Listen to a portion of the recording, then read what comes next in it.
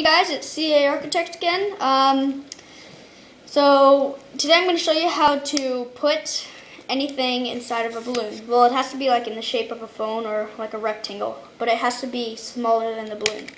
Okay, so what you do is you just blow up a balloon to a certain size.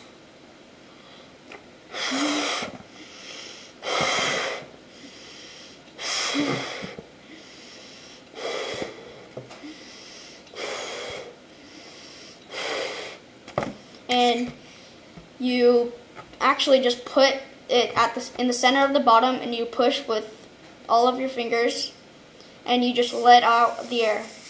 You can actually get balloons at Dollar Tree. That's where I got these today.